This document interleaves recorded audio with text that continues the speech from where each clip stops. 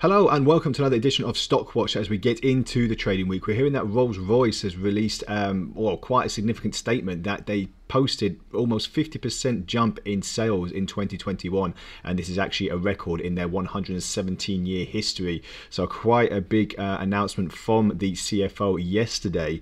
In an online presentation uh, the car maker was said to have sold over 5,500 vehicles to customers in more than 50 countries. Um, and you know because of the pandemic lockdown in a lot of countries from in 2021 which was still going. Obviously travel was uh, well, pretty much abolished for a lot of countries. Then a lot of people were spending more on luxury cars and this is where Rolls-Royce did come into play and it has actually hit quite well, exceeded a lot of expectations there.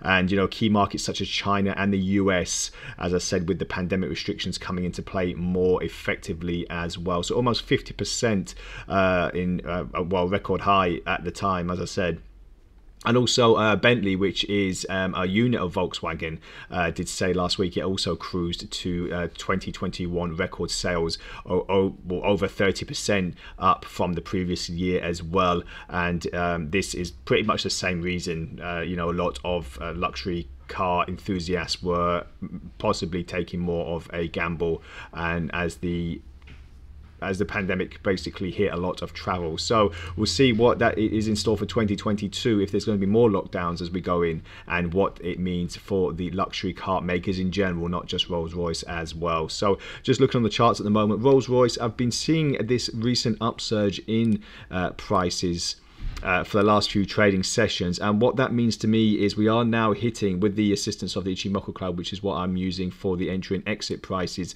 Uh, what I'm seeing now is just a touch at the bottom border of this Ichimoku, Ichimoku Cloud, uh, which means that we have slight engulfment. But as you can see here, the cloud has actually jumped a little bit upwards. It's not a straight line as it has been here.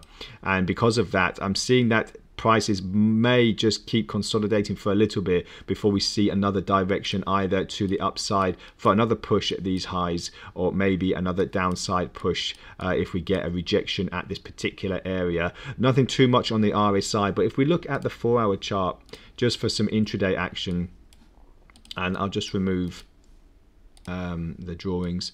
And you know what it's looking like at the moment is a V-shaped recovery up until this particular um, peak roughly about the 132 area. Uh, however, we are looking at the moment that, as you can see, a slight divergence on there, which could mean prices could start pushing, uh, you know, get a little bit restricted uh, roughly around this area and start moving a little bit lower. So just watch out for that if you are looking to trade Rolls Royce stocks, that there could be a little bit of a um, rejection at this level. However, if we do push through this um, particular area, then I'll be looking at the next level, uh, which is another $10 uh, move or pound move, depending on where uh, which chart you're looking at, if it's dollars or pounds. So just something to look out for for Rolls Royce. Uh, Volkswagen, I'm always uh, looking at Volkswagen because um, you know, it's one of Europe's big car makers and it's really pushing itself into the electric vehicle montage. And the last time I looked at it,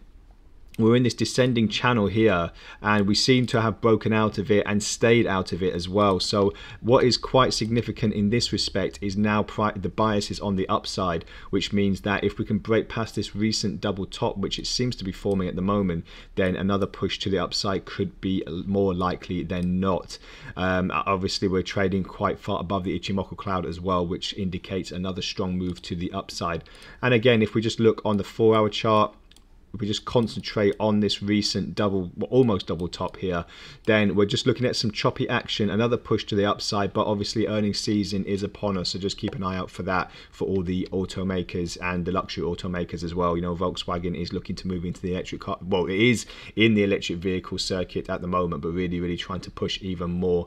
So yeah just take a look at um, the the prices bouncing up at, at this particular region, very far away from the cloud. So we'll see what happens to that in the near term as well. Not too much in the way of divergences on the RSI, so we'll keep it um, a little bit locked down until then and we'll see what comes for the rest of the week. So that's all from today's Stock Watch, and join me again tomorrow for more updates. Bye for now.